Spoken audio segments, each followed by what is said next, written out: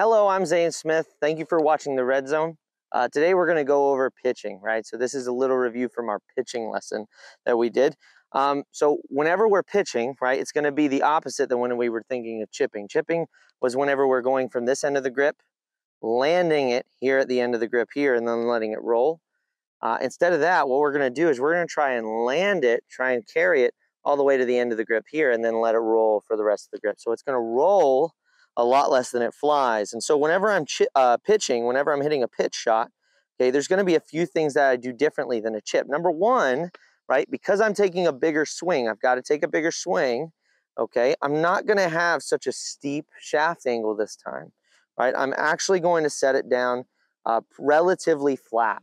And the reason being is because I don't need that shaft to be so steep because I'm swinging with more speed the grain's not really going to affect it too much. And there are other things we can do to help with grain with a pitch. So I'm going to make sure I get it flat. Now that means that I'm going to be standing a little further away from it.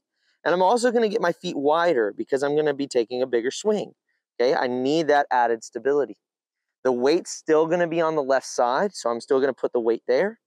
And then what I'm going to do in order to get a little bit more uh, forgiveness with the grain is I'm going to open up the face slightly.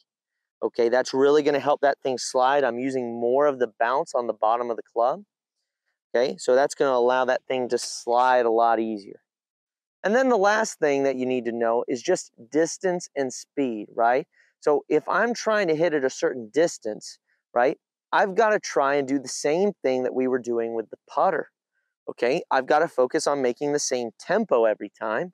And if I want to change the, the distance, I just want to change how far back I take it.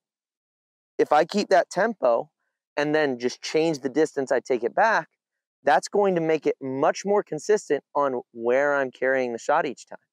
So, for instance, I know that if I take it back to my waist, I know it's going to go about 30 yards, right? I know that if I take it to the chest, it's going to go about 50 yards. And I know if I take it to my shoulder, that's going to go about 75 yards. Okay, so I know that. And so that whenever I go out to play and I get that yardage or something close to it, I know I can play that shot. It's also true that because this is a 58, right? This is a 58, that if say I have a shot that's 40 yards, longer than the, the 30, shorter than the 50, why not just take the 54 and take it back where I took the 30 with the 58? Okay, so that's something to think about. You don't necessarily need to use the highest lofted club whenever you're closer to the green. You want to use whatever gives you that consistent distance, whatever gets you that consistent shot. Okay, and that's going to lower your scores. If I'm trying to do too much, if I'm trying to open up the face, right, uh, too much or, or too many times, if I'm trying to choke up more than I usually do, if I'm trying to do all these different variables, I'm going to mess myself up. And I'm going to go and get in my own head about it, right? So I want to change as little as possible.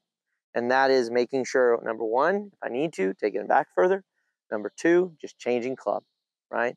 So those two things are the things that you just want to focus on. If you're a more advanced player, right, then you can add in all that extra stuff. But again, if you're just the guy that's gonna that wants to take it from 90 to 80, right? Then that's what you want to do. You want to just focus on those two things, right? And I would I would hope that you write that down. So if you find out that this right here, that this to there goes 30 yards. So if we go here to there, if we find out that goes 30 yards, well then write that down. Make sure you write that down whenever you um, whenever you get a chance. And then if I take it back here to here, all I need to do is hit it further, is take it back a little bit further. Let's go to the chest. Let's see how far it goes to the chest. There it is. That's about 50. Okay. And then if I want to hit to the end of that green, this is probably going to go over this green. But if I want to go to 75, I just take it back to 75 and then I swing all the way through. Okay. All right. So make sure you try that at home. Make sure you try that.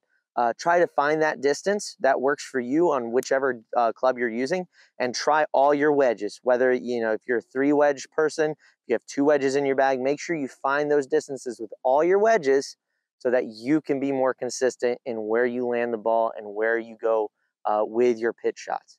So anyway, I hope this helps. Thank you so much for joining me and the Red Zone, and thanks for watching the video.